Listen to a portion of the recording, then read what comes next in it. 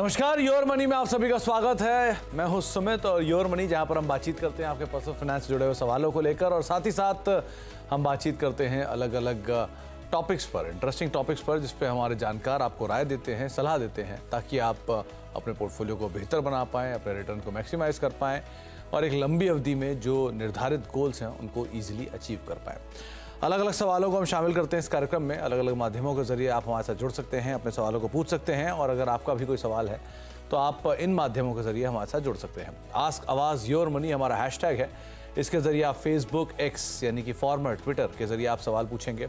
आप हमें अपना सवाल सीधे सीधे भेज सकते हैं, ईमेल कर सकते हैं your money at the rate N W eighteen dot com पर और उसके अलावा आप व्हाट्सएप भी कर सकते हैं। Seven zero four five double two double zero double zero ये हमारा व्हाट्सएप नंबर है।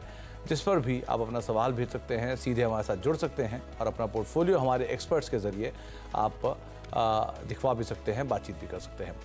आज हमारे साथ वाइज इन्वेस्ट के सीईओ हेमंत रुस्तगी सर मौजूद हैं, जिनसे हम बातचीत करेंगे आपके सवालों पर भी और साथ ही साथ हम बातचीत करेंगे इंटरेस्टिंग टॉपिक पर भी। हेमंत सर आमतौर पर हमने सुना है म्यूचुअल फंड सही है, लेकिन मेरा वाला सही है कि नहीं है? ये सबसे बड़ा सवाल उठता है। तो इसका क्या जवाब है कि जब हम लॉगिन करते हैं, एक नया निवेशक लॉगिन करता है, एक फंड सिलेक्शन शुरू करता है तो उसके सामने बहुत सारे ऑप्शन आते हैं। ग्रोथ है डिविडेंड है यू नो बैलेंस है फ्लेक्सी है मल्टी कैप्स है सेक्टोरल है। सो इतने सारों में मेरा चुनाव कितना सही है? ये कैसे तय होगा? जी, सुमित, आपने बिल्कुल सही कहा। म्यूचुअल फंड हमेशा कहते हैं कि सही ऑप्शन है। लेकिन आपके वाला म्यूचुअल फंड सही है कि नहीं वो डिपेंड करता है आपने आ, किस तरीके से अपने फंड्स को चुना है। हम्म। देखिए ये ये तो प्रूवन फैक्ट है वर्ल्ड ओवर इंक्लूडिंग हमारे देश में कि म्यूचुअल फंड जो है बहुत ही सिंपल सरल जिसको बोलते हैं इन्वेस्टमेंट ऑप्शन है। लेकिन आ, उसका फ़ायदा उठाने के लिए आपको सही फंड की सिलेक्शन करने की ज़रूरत है। तो सबसे पहले तो आपको ये देखना है, उसके कुछ स्टेप्स हैं जो आपको हमेशा ध्यान रखने होंगे। सबसे पहले तो आपको ये देखना है कि आपकी ज़रूरत कैसी है मतलब आपके पास समय कितना है, आपकी रिस्क प्रोफ़ाइल कितनी है राइट किस तरह के से आपको रिटर्न चाहिए, जैसे आपने कहा आपको डिविडेंड चाहिए ग्रोथ चाहिए, या दोनों चाहिए। तो सबसे पहला स्टेप तो मैं देखूँ कि मेरी खुद की रिक्वायरमेंट क्या है, क्योंकि ये कहीं ना कहीं मुझे मदद करता है कि मेरे पास कितना समय है, मेरा रिस्क प्रोफ़ाइल कितना है, कि मैं मेरी एसेट एलोकेशन जो जो हम कहते हैं ना हमेशा कि कितना पैसा इक्विटी में जाए, कितना पैसा डेट में जाए, कितना पैसा कमोडिटीज जैसे गोल्ड सिल्वर में जाए और कितना हाइब्रिड में जाए। पहला कदम तो मेरा ये होना चाहिए कि मैं वहाँ से शुरुआत करूँ। एक बार मैंने डिसाइड किया कितना कितना पैसा डिफरेंट एसेट क्लासेस में जाएगा। फिर दूसरा स्टेप होता है कि उसमें से मैं कौन से फंड चुनूं। Right right? Hmm. कुछ पैरामीटर्स है वहाँ पे जैसे हम कहते हैं कि पास परफॉर्मेंस देखनी है। पास परफॉर्मेंस इकलौता एक फैक्टर नहीं हो सकता लेकिन वो बहुत इंपॉर्टेंट भी है क्योंकि उसमें भी आपको थोड़ी लंबे समय की इन्वेस्ट की परफॉर्मेंस देखनी है ताकि आप देख सकें कि डिफरेंट मार्केट सिनेरियोज में फंड ने कैसे परफॉर्म किया। फिर आपको देखना है कि उस फंड में लेवल ऑफ़ डाइवर्सिफिकेशन कितना है राइट क्वालिटी ऑफ़ पोर्टफोलियो कैसा है? उनकी इन्वेस्टमेंट फिलोसफी कैसी है?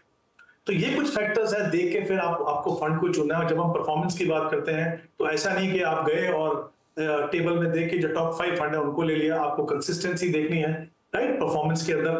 तो ये कुछ फैक्टर्स हैं जो कभी कभी शायद एक आम निवेशक के लिए थोड़े मुश्किल हो सकते हैं। तो अगर ये डिफिकल्टी लगे तो उसमें कोई हर्ज नहीं है कि आप किसी प्रोफेशनल डिस्ट्रीब्यूटर या एडवाइजर के साथ काम करें, जो एटलीस्ट आपको मदद करेंगे इस प्रोसेस को समझने में और सही फंड को चुनने में।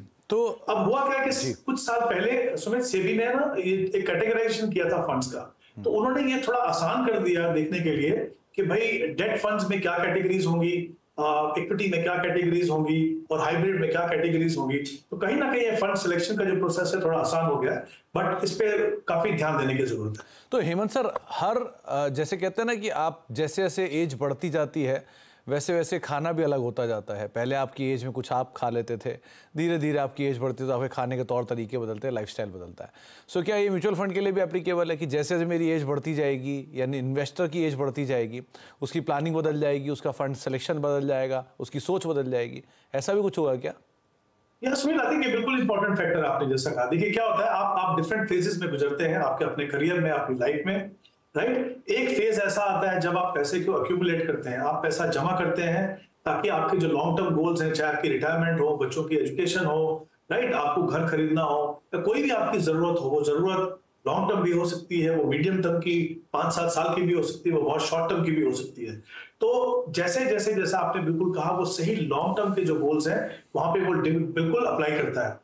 हमने जो रिस्क प्रोफ़ाइल की बात की वो रिस्क प्रोफ़ाइल भी आपका समय समय पे बदलता है। एक ऐसा फ़ेज़ आता है जब आपको काफ़ी सारी रिस्पॉन्सिबिलिटीज लाइबिलिटीज हो सकती हैं तो आप मे बी आपके आपकी उम्र कम है लेकिन आपकी जो पर्सनल सिचुएशन है वो आपको अलाउ नहीं करती कि आप बहुत ज़्यादा रिस्क लें। फिर आप ऐसे स्टेज में पहुँचते हैं कि आपकी जो बच्चों की एजुकेशन हो गई आप आप करियर पॉइंट ऑफ़ व्यू से आप एकदम अपने पीक पे हैं। तो वो जो साल होते हैं, पाँच, दस साल जो होते हैं, वहाँ पे आप थोड़ा ज़्यादा रिस्क ले सकते हो।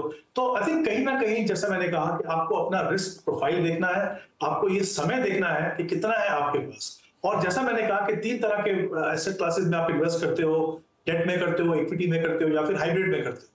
वहाँ पे जैसे अगर आप डेट की बात करें क्विकली मैं थोड़ा एक्सप्लेन कर दूँगा यहाँ पे कि डेट में अगर हम बात करें तो 16 कैटेगरीज हैं। ज़्यादा है बट काफ़ी अच्छे तरह से डिफाइंड है। तो आपका जो समय है, अगर आप फंड की मेच्योरिटी से मैच करेंगे। जैसे मान लीजिए आपको एक महीने के लिए पैसा पार्क करना है तो आप लिक्विड फंड में क्यों जाते हैं? क्योंकि जो लिक्विड फंड के जो इंस्ट्रूमेंट्स है, उनकी मेच्योरिटी 91 डेज़ रहती है।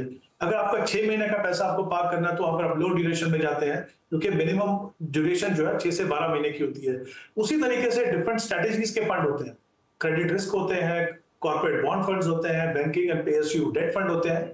इक्विटी में आएँगे तो वहाँ दस कैटेगरीज हैं। हम्म। वहाँ पे आपको पता है आपको लार्ज कैप में पैसा लगाना है आपको मिड कैप में लगाना है आपको स्मॉल कैप में लगाना है। तो वहाँ पे आपको डाइवर्सिफाइड फंड देखने हैं large and mid flexi cap या फिर मल्टी कैप फंड्स उसके अंदर जैसा मैंने कहा स्टार्टिंग में जो पैरामीटर्स की मैंने बात की थी कि उनकी परफॉर्मेंस में परफॉर्मेंस कैसी रही है कंसिस्टेंसी कितनी है quality of portfolio level of diversification ये और रिस्क एडजस्टेड रिटर्न बहुत इंपॉर्टेंट है। रिटर्न है हम्म। लेकिन कितना रिस्क ये ये कुछ पैरामीटर्स हैं जो अवेलेबल है। Uh, जैसा मैंने कहा ये सारा डेटा अवेलेबल है आपको। हम्म। आपको फंड की फैक्ट शीट में मिलेगा आपको जैसे मनी कंट्रोल डॉट कॉम पे जाएँगे वहाँ पे मिलेगा। काफ़ी सारी जगह है जहाँ पे ये आपको डेटा मिलता है। हम्म। आपको ये डिसाइड करना है कि आप में वो क्षमता है कि आप खुद से एनालाइज कर सकते हैं या नहीं। अगर नहीं कर सकते हैं जैसे मैंने पहले भी कहा किसी प्रोफेशनल के साथ बैठ के काम कीजिए क्योंकि कहीं ना कहीं आज जो आप डिसीज़न ले रहे हैं आप जो आप कर रहे हैं जी। उसका जो आपका जो फाइनेंशियल फ्यूचर है हम्म। पूरा उसके ऊपर डिपेंड करता है तो हेमंत सर ऐसा भी होता है बहुत बारी कई सेक्टर्स को हम बेहतर तरीके से समझते हैं मान लीजिए मैं एक आ, किसी इन्वेस्टर की बात कर रहा हूँ जो डॉक्टर हैं वो फार्मा को बहुत अच्छे समझेंगे कोई एफएमसीजी में काम करते हैं तो सेक्टर को अच्छे समझते हैं सो so, इनकी चॉइसेस के हिसाब से आईटी प्रोफेशनल है इनकी चॉइसेस के हिसाब से एक कोई बिजनेसमैन है तो उनकी इनकम अलग होती है कोई सैलरीड एम्प्लॉय है उनकी इनकम अलग होती है।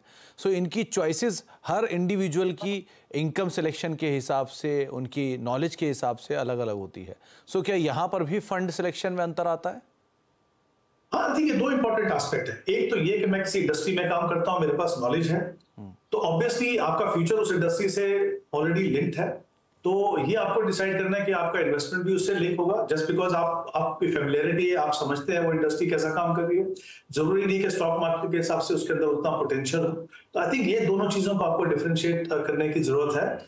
और दूसरा, आपकी जो इनकम लेवल है, आपकी जॉब सिक्योरिटी कितनी है, आपकी प्रोफेशनल क्वालिफिकेशन कैसी है, अगर कोई ऐसा इंसिडेंट होता है जहाँ पे आपका जॉब लॉस हो, आपको दोबारा से रीएम्प्लॉयमेंट होने में इतनी प्रॉब्लम हो सकती है आप अपना बिज़नेस कर रहे हो उसमें अनसर्टनिटीज हो सकती हैं इरेगुलरिटी हो सकती है इनकम में। तो आई थिंक इनकम लेवल्स अलग हैं जिस तरीके से इनकम आती है वो अलग हो सकती है हमारे गोल्स अलग हो सकते हैं राइट हम्म, हम्म। एक एक ऐसा भी इन्वेस्टर हो सकता है जिसके लिए शायद एक करोड़ भी कम पड़े और एक ऐसा इन्वेस्टर भी हो सकता है जिसको दस लाख बहुत बड़ा रकम हो। तो I think it all depends relative term में देखना है हमें हमारी कितनी रिक्वायरमेंट्स है हमारी कितनी इनकम है और हमारे लिए क्या सूटेबल है। तो आई थिंक ये जो पूरी चीज़ है, चाहे फंड सिलेक्शन हो, चाहे आपका इन्वेस्टमेंट प्रोसेस हो, कहीं ना कहीं सबसे ऊपर जो आपको रखना है, वो रखना है सूटेबिलिटी जी। तो अलग अलग तरीके से अलग अलग माध्यमों से आपके जो रिस्क प्रोफ़ाइल हैं या आपकी जो सिचुएशंस हैं, उनके हिसाब से चीज़ें बदलती रहती हैं। इसीलिए फ़ंड सिलेक्शन करना या कौन सा फ़ंड आपके लिए सही है, या आपकी इंडिविजुअल चॉइस है। लेकिन अगर आप इसको नहीं समझ पा रहे हैं तो किसी एक बढ़िया वित्तीय सलाहकार की राय इस पर ज़रूर लें। लेकिन हर चीज़ आपके म्यूचुअल फंड का सिलेक्शन बहुत हद तक तय करेगी। आगे बढ़ते हैं कुछ दर्शकों से बातचीत कर लेते हैं। पहले दर्शक गुजरात से हमारे साथ मौजूद हैं निकुंज जरी वाला हमारे साथ मौजूद हैं। निकुंज जी नमस्कार। क्या सवाल है आपका? बस बढ़िया सर जी। क्या सवाल है निकुंज जी आज आपका? मैंने मेरा पोर्टफोलियो आपके भेजा है। मेरे को बस इतना है कि मेरा सालाना उन्नीस हज़ार का इन्वेस्टमेंट है। अभी मैं हर साल ढाई सौ ढाई हज़ार रुपया इन्वेस्ट हर साल बढ़ाता हूँ। तो मेरे को कुछ एग्रेसिव फंड में अभी आगे बढ़ना है कि गोल्ड एसआईपी में आगे बढ़ना है वो थोड़ा आप मेरे को गाइड करिएगा। तो निकुंज जी आप पहली चीज़ तो क्या आपकी उम्र है और आप कब से निवेश कर रहे हैं? मेरी उम्र है थर्टी नाइन ईयर्स ओके और मैं ट्वेंटी फाइव ईयर्स से चालू है। चलिए तो मतलब करीब करीब आप बाज़ार में रफली चौदह साल दे चुके हैं एग्री ओके हाँ यस सर चलिए बहुत बढ़िया वेरी नाइस क्या करना चाहिए हेमंत सर? इनके निवेश, बहुत समय से ये निवेशित है मार्केट में और स्टेप अप भी करते हैं। डिसिप्लिन के साथ पच्चीस सौ रुपये इन्होंने खुद कहा कि स्टेप अप कर लेते हैं। तो क्या गोल्ड की एस में रहें? क्योंकि इनकी एज अभी उस तरह की नहीं है कि ये डेट या गोल्ड की तरफ़ ज़्यादा फोकस करें। लेकिन हाँ अभी ये क्या करना चाहिए? इनके एनपीएस भी है और बाकी फंड्स भी आपको भेजे हुए हैं। क्या सलाह देंगे आप? देखिए, सुमित, अगर मैं निकुंज का पोर्टफोलियो देखूँ तो कहीं ना कहीं मुझे लगता है वो एक एक मिक्स रिएक्शन होगी। एक तरफ़ अच्छी बातें हैं। जैसा उन्होंने कहा कि काफ़ी समय से वो इन्वेस्ट कर रहे हैं एसआईपी से इन्वेस्ट कर रहे हैं इक्विटी फंड में इन्वेस्ट कर रहे हैं। कमिट कमिटेड है कि वो अपनी इन्वेस्टमेंट को हर साल बढ़ाएँगे। तो ये बहुत ही अच्छी चीज़ है आई थिंक और एसआईपी से इन्वेस्ट कर रहे हैं, जो एक बहुत ही एक डिसिप्लिन तरीका है। तो ये तो मुझे लगता है ये अच्छी चीज़ है जो उन्होंने की है। जो चीज़ें, जहाँ मुझे लगता है थोड़ी कमी है, जिसको उनको पूरा ध्यान रखने की ज़रूरत है इनका जो पोर्टफोलियो है, ये इसमें क्लैरिटी नहीं है। पहली बात कि एक गोल के लिए है, या मल्टीपल गोल्स के लिए है। इनका टाइम होराइजन आगे कितना है? इनका टारगेट कितना है? क्योंकि कभी कभी क्या होता है, हम एक रकम इन्वेस्ट तो करते हैं, लेकिन हमें पता नहीं होता कि वाकई में ये एडिक्वेट है कि पर्याप्त है कि नहीं। हमारे जो टारगेट्स होंगे या जितना पैसा हमको चाहिए, वो पूरा होगा या नहीं होगा? तो मैं ये चाहूँगा थोड़ा सा थोड़ा सा एक पॉज करके, एक थोड़ा सा एक अपने प्रोसेस को थोड़ा डिफाइन करें कि मेरे पास समय कितना है, मेरा गोल कितना है एक assume rate of return equity में है, अगर लॉन्ग टर्म में तो बारह परसेंट मान के कितना पैसा मुझे इन्वेस्ट करने की ज़रूरत है, ये स्टेप करेंगे तो मुझे लगता है वो बेहतर है। अब मैं इनके पोर्टफोलियो पे अगर आऊँ, तेरह फंड है जहाँ पे वो एसआईपी कर रहे हैं। मुझे लगता है बहुत ज़्यादा फंड है। दो फंड ऐसे हैं एनपीएस के अलावा म्यूचुअल फंड की बात कर रहा हूँ, जहाँ पे उन्होंने लमसम इन्वेस्ट किया तो कुल मिला के पंद्रह फंड है उनके पास। किसी भी इन्वेस्टर के लिए पंद्रह फंड स्पेशली जब आप आपको ये क्लैरिटी ना हो कि एक गोल है मल्टीपल गोल है, कितना समय है तो ये बहुत मुश्किल है। कहीं ना कहीं इनको पोर्टफोलियो को कंसोलिडेट करने की ज़रूरत है। मेरे हिसाब से चार या पाँच फंड इनके लिए बिल्कुल सही रहेंगे। अगर आप सही फंड चुने, हमने पहले बात की, सही फंड चुने, जो एलोकेशन आपको चाहिए डिफरेंट एसेट क्लासेस में डिफरेंट सेगमेंट में, वो आपको मिलेगी। तो इनके जो एग्जिस्टिंग फंड्स हैं, दो, वो इसमें कंटिन्यू कर सकते हैं। अमाउंट बदलने की ज़रूरत है। वो है क्वांट एक्टिव फंड और H small cap Quant active fund जो फ्लेक्सी कैप फंड है उसमें चार हज़ार इन्वेस्ट कर सकते हैं और एच डी एफ़ सी का जो स्मॉल कैप फंड है वो तीन हज़ार इन्वेस्ट कर सकते हैं। इसके अलावा मैं चाहूँगा कि तीन फंड अपने पोर्टफोलियो में रखें और मैं ये देख के बता रहा हूँ उनको कि ताकि उनको जो एलोकेशन है डिफरेंट मार्केट सेगमेंट में वो अच्छे से मिले। एक कोटक मल्टी कैप एक H D F C large and mid cap और एक maybe Motilal Oswal large and mid cap तीनों में चार चार हज़ार रुपए इन्वेस्ट कीजिए। आप कुल मिला के इस तरीके से आपकी इन्वेस्टमेंट होगी। और जो बैलेंस आपको चाहिए वो मिलेगा फंड्स कम होंगे मॉनिटरिंग करना आसान होगा। तो कुछ बदलाव आपको बताए गए हैं आप उन बदलाव के हिसाब से निवेश कर सकते हैं कुछ फंड सुझाए गए हैं आप उनको भी अपने अपने पोर्टफोलियो में ऐड कर सकते हैं। अब राजस्थान चलते हैं शालिनी जी वहाँ पर हमारे साथ मौजूद हैं। शालिनी जी नमस्कार क्या सवाल है आपका? नमस्कार। नमस्कार सर नमस्कार मैम सर ये हाँ जी सर ये पोर्टफोलियो मैंने भेजा हुआ है। तो इसी के रिगार्डिंग भी कुछ चेंजेस इसमें रिक्वायर्ड हैं या नहीं है? क्या मैं सही हूँ? मेरा कोई ना तो एडवाइजर है सर और ना ही मुझे ज़्यादा मुझे लगता है नॉलेज है। तो मैंने आपका फंड देख के ही थोड़ा ये शुरू किया है। Okay Investment. तो शालिनी जी आपने निवेश शुरू कब से किया है? ये 2022 से सर उससे पहले आप कहाँ निवेश करते थे? उससे पहले तो यही एफ़ डी होगी एल आई सी होगी जो ट्रेडिशनल वे तो है। एफडी से म्यूचुअल फंड में आने के लिए ऐसा क्या हुआ कि आपको लगा कि इसमें आना चाहिए मुझे? मुझे ये आपके शो वगैरह देख के मुझे ये लगा कि उसमें तो मतलब कोई खास रिटर्न नहीं बन रहा है और एल आई सी और ये तो बिल्कुल ही आ, तो सेफ्टी वाला कंसर्न आपका दूर हो गया एफडी से और म्यूचुअल फंड वाला? हाँ नहीं म्यूचुअल फंड सेफ़ है मार्केट भी सेफ़ है उसमें भी मैं थोड़ा कर रही हूँ। ओके चलिए बढ़िया बढ़िया वेरी नाइस आप निवेशित रहिए सालों साल तक जितना साल रहेंगे उतना आसान होता जाएगा आपके लिए पूरा सफ़र। बाकी हेमंत सर साढ़े पंद्रह हज़ार रुपये के आसपास की इनकी एसआईपी चल रही है। रिसेंटली शुरू किया है म्यूचुअल फंड में। करीब पंद्रह से सत्रह साल के लिए निवेश करना चाह रही हैं। एक ही चीज़ है जो मैं समझना चाहूँगा और आपसे भी बोलना चाहूँगा कि क्योंकि ये 2022 से निवेशित है और बाज़ार तब से गुलजार है। अब तक उतना बुरा सिनेरियो देखा नहीं है किसी बड़े निवेशक या बड़े झटके बाज़ार में। सो आप क्या कहोगे? क्या करना चाहिए अपने पोर्टफोलियो में?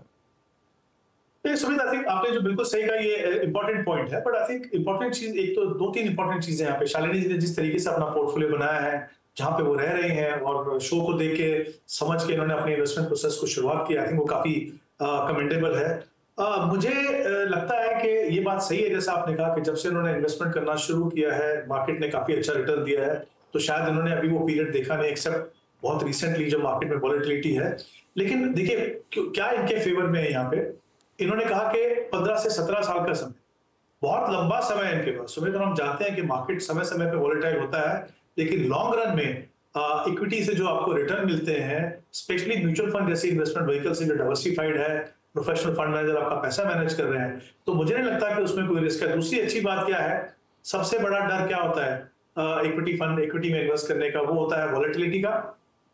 डाइवर्सिफिकेशन आपके पास है और उतार चढ़ाव को टैकल करने के लिए सिस्टमेटिक इन्वेस्टिंग क्योंकि आप एक पर्टिकुलर लेवल पे इन्वेस्ट नहीं कर रहे हो आप हर महीने डिफरेंट डेट्स पे, आप डिफरेंट लेवल्स पे इन्वेस्ट कर रहे हो तो जो काफ़ी रिस्क जो होता है वॉलिटिलिटी का, उसका इम्पैक्ट हमारे पोर्टफोलियो पे बहुत कम हो जाता है। कम ही नहीं होता। इनफैक्ट वो लॉन्ग टर्म में हमारे बेनिफिट के लिए काम करता है।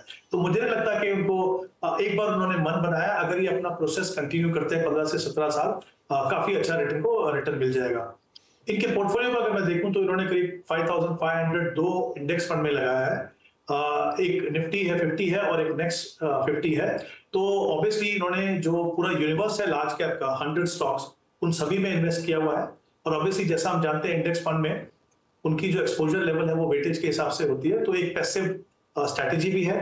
फिर इनके पास एक पारंपरिक फ्लेक्सी कैप फंड है, जहाँ पे शायद उन्होंने चार हज़ार पे इन्वेस्ट किया है। ये भी प्राइमरीली एक लार्ज कैप फंड कह सकते हैं, और इसमें कुछ हिस्सा जो है वो यूएस मार्केट में भी जाता है। तो आई थिंक फंड अच्छे हैं। अब दो फंड जो है इनके, एक इनके पास एक्सेस का मिड कैप फंड है राइट और एक स्मॉल कैप फंड है।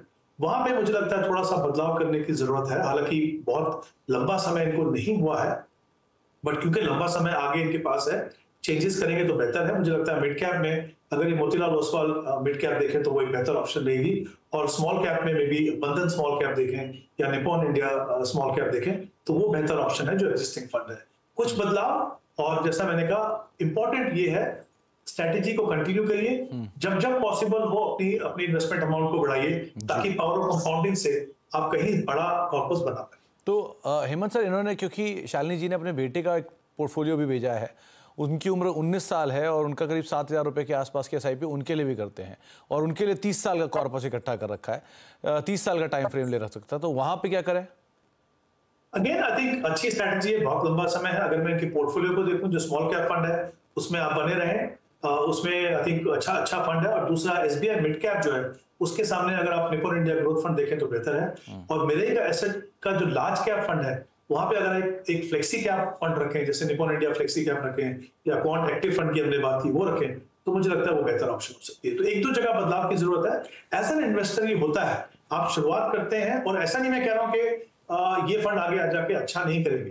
क्योंकि छोटा पोर्टफोलियो आप कोशिश कर रहे हैं तो कोशिश कीजिए ऐसे फंड्स के साथ जो कंसिस्टेंटली बेटर परफॉर्म कर सके और मॉनिटर करते हैं तो शालिनी जी कुछ बदलाव वैसे तो आप 80-90 परसेंट सही है लेकिन थोड़े बहुत बदलाव की जो बातचीत आपको हेमंत सर ने बताया आप उसको फॉलो कर सकते हैं और अदरवाइज़ इस चीज़ के लिए हमेशा ध्यान रखिएगा कि बाज़ार में उतार चढ़ाव दोनों रहते हैं और एसआईपी आपको उसी में हेल्प करता है। तो इसीलिए अभी थोड़ी गिरावट अगर आती है कोई सिनारियो बनता है तो आपके लिए बढ़िया मौके वहाँ पर भी खुल जाएँगे।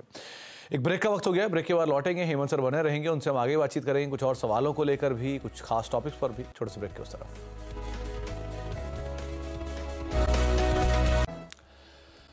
आप देख रहे हैं योर मनी और योर मनी में हम बातचीत कर रहे हैं। हेमंत उस्तगी सर से, साथ ही साथ हम आपके सवालों के जवाब भी ले रहे हैं। और आज का टॉपिक था कि आपका फंड कितना सही है या कितना नहीं है। इस पर भी हमने बातचीत की, लेकिन अगले दर्शक हमारे साथ अब दिल्ली से हैं। मनोज कुमार अग्रवाल साहब मौजूद हैं। मनोज जी, नमस्कार। नमस्कार। नमस्कार मनोज जी क्या सवाल है आपका? मेरा सवाल है कि मेरे पास अभी 50 लाख लमसम है अमाउंट कुछ मेरा प्रॉपर्टी से और उससे आया है। हम्म। तो अभी मेरे को सात साल के होरिजन से क्योंकि मेरी एज 53 इयर्स है हम्म। और प्रेजेंट अभी जॉब नहीं है हम्म। तो उस हिसाब से मेरे को सात साल में या दस साल तक भी ले सकते हैं because my wife is working तो after ten year how much I can incre how much I can get for being मतलब for my retirement corpus okay और दूसरी चीज़ क्या मनोज सर आप दस साल बाद इसको एक पेंशन के तौर पे देखना चाह रहे हैं या लेना चाह रहे हैं या आउटराइटली आपको उस समय पूरी पूंजी निकालनी होगी हाँ पेंशन के लिए इसको मैं फंड को बनाना चाह रहा हूँ फिर आगे से मैं इसमें एस लगाना चाह रहा हूँ जिससे कि मैं एसटीपी अपने फोर्टी टू फिफ्टी थाउज़ेंड आज की डेट में मेरा एक्सपेंडिचर है ओके okay. तो वो इन्फ्लेशन के बाद उस टाइम पे जो भी होगा फिफ्टी हम्म। थाउज़ेंड से it will become seventy five thousand at that time तो उतना मैं निकालने की सोच रहा हूँ। तो हेमंत सर सात से आठ साल का कॉर्पस ये कितना बना पाएँगे सात से दस साल में? पचास लाख के आसपास की एक मुश्त रकम है इनके पास। क्या करना चाहिए इनको? क्या इनके लिए बेस्ट सोल्यूशन है? हाँ Sumit I think important factor ये जैसा आपने कहा सात आठ साल का समय है। हम्म। और इन्होंने शायद ये भी कहा है कि वो दस साल भी अगर होगा तो रख सकते हैं। हम्म। तो पहली बात तो नंबर्स देख लेते हैं। अगर पचास लाख के इन्वेस्ट कर रहे हैं अगर ये इक्विटी ओरिएंटेड और इक्विटी फंड्स में अगर इन्वेस्ट करते हैं तो अगर आप बारह परसेंट का रिटर्न मान के चलें तो करीब करीब डेढ़ करोड़ का कॉपर्स ये दस साल के बाद बना पाएँगे। राइट पहली बात तो ये कि दस साल का अगर अपने आप को समय दें तो उतना कॉर्पस बन बन पाएगा वहाँ पे। दूसरी बात किस तरह के फंड हो, ये बहुत इंपॉर्टेंट है इनके पास तो मैं चाहूँगा कि मिक्स हो।